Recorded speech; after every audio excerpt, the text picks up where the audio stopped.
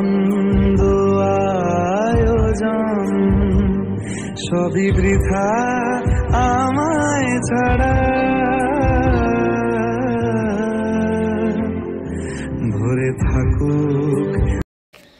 সত্যি আজকে ঘুম থেকে ওঠার পর থেকে না কি বলব? আজকে ঘুম থেকে ওঠার পর থেকেই মানে দেখছি আমার এই মা মানে আমার শাশুড়ি মার কথা বলছি, খুব খারাপ শরীরটা, মাথা ঘুরে একদম পড়ে গেল।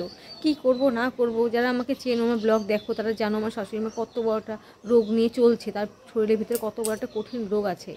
তারপরে যাই হোক, এভাবেই চলছে সে, আমরা সবাই তাকে তাকে নিয়ে আছি।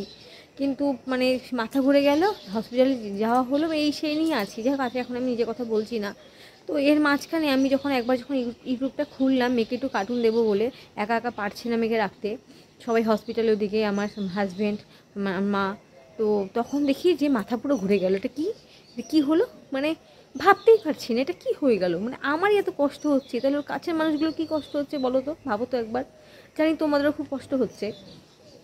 তা আমি বলছি অমিত মণ্ডলের কথা মাই লাইফ অমিত মণ্ডল যে চ্যানেলটা আছে, নিশ্চয়ই তোমরা সেই দাদাকে চেনো, জানো। ও আমাদের মতো স্বাভাবিক না। ওর এত বড় একটা প্রবলেম থাকা সত্ত্বেও ও কতটা এগিয়ে গেছে বলো? মানে আমাদের অনেক কিছু আছে, তাও আমরা মনে ওর মতন কিছুই জানি না, কিছুই পারি না। তারপরেও আজকে ওর ওর মা বাবার সাহারা বলতে একমাত্র ওই। ও এরকম একটা মানে অবস্থায় ওর এরকম হয়ে গেল মানে জাস্ট কি বলব?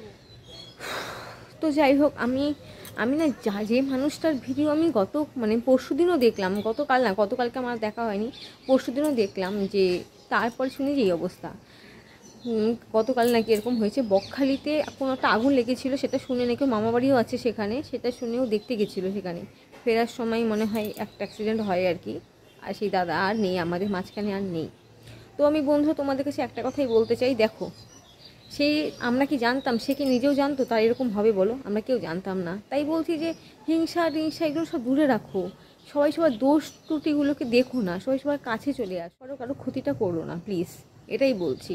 আর দেখো, ও আমার কেউ হয় না পার্সোনালি আমি ওকে চিনিও না, কিন্তু যেহেতু ভিডিও দেখি, আর কি হয় ইউটিউবের জগতে না সবাই সবার ভিডিও দেখতে, সবাই সবার ঘরের মানুষ হয়ে যাই আমরা।